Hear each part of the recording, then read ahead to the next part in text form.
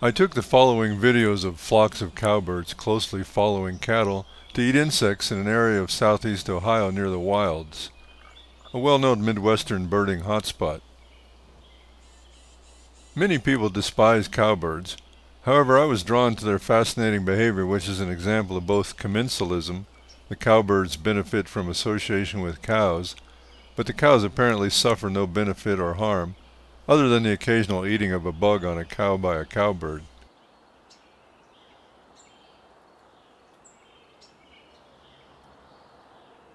This area of Ohio was historically covered in dense forest and was cleared and strip mined and then later converted to agriculture and recreational use, leaving a prairie-like environment where a hundred years ago or so dense forest stood. And therein lies an interesting story. The brown-headed cowbird is a member of the blackbird family. The adult male is easily identified by his brown head and metallic green body. Female cowbirds are a pale brown with a gray-brown head. Both male and females have a length of about seven and a half inches.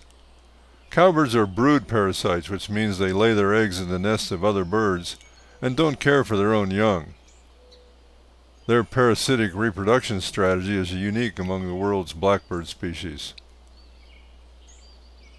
Because of this strategy, they do not need to expend time and energy to build their own nests, defend a territory, lay and incubate eggs, and care for the chicks. Males and females will mate with several individuals within a season and females lay eggs from mid-April through mid-June in the nest of other birds, usually a single egg and then leaves.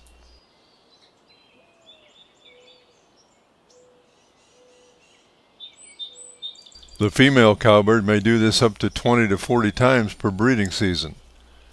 Many of these eggs are not successful.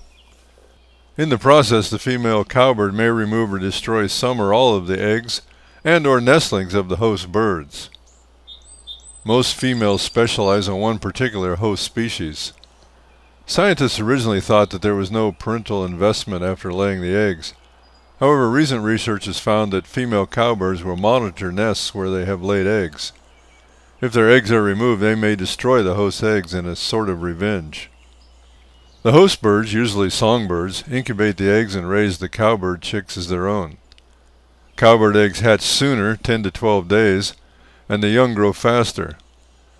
They fledge in 10 to 11 days, so the cowbird chicks get most of the food and have been known to push the host chicks completely out of the nest. Often the adult host bird end up feeding and caring for only the cowbird chick rather than raising the next generation of their own kind. Cowbirds evolved to follow herds of grazing animals, often covering many miles in a day.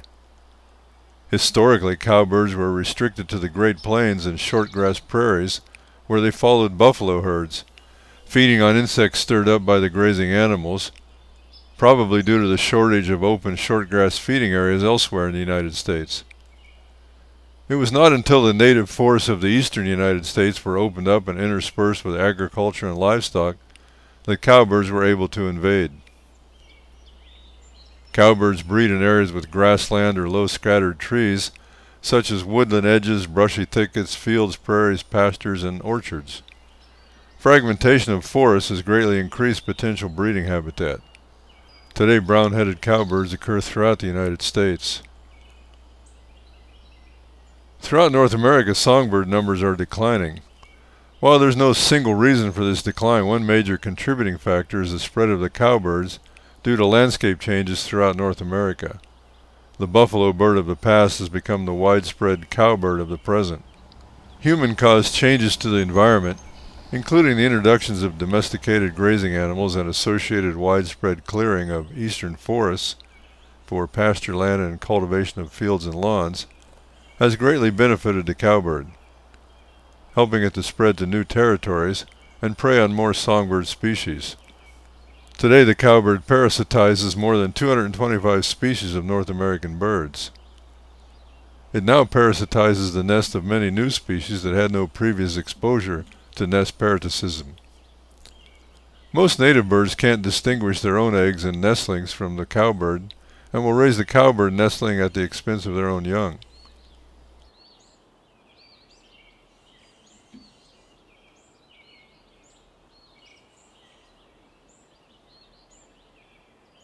Studies have suggested livestock may create cowbird feeding microhabitats, increase insect abundance, provide foods in their manure, and may make food more visible by flushing insects when grazing. Due to this close association, livestock can influence the number and distribution of cowbirds. The presence of livestock tends to increase densities of cowbirds locally and can create gradients of parasitism pressure within a landscape. The presence of livestock may be essential for continued cowbird presence or prolonged egg production. The strong bond between cowbirds and livestock has led to the consideration of rotation of livestock away from host breeding habitat as a management technique to reduce parasitism of host nests.